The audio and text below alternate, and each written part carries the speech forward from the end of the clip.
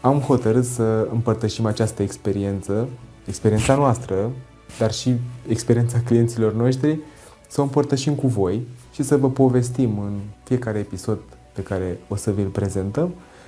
detalii, situații, realități care se întâmplă în piața construcțiilor.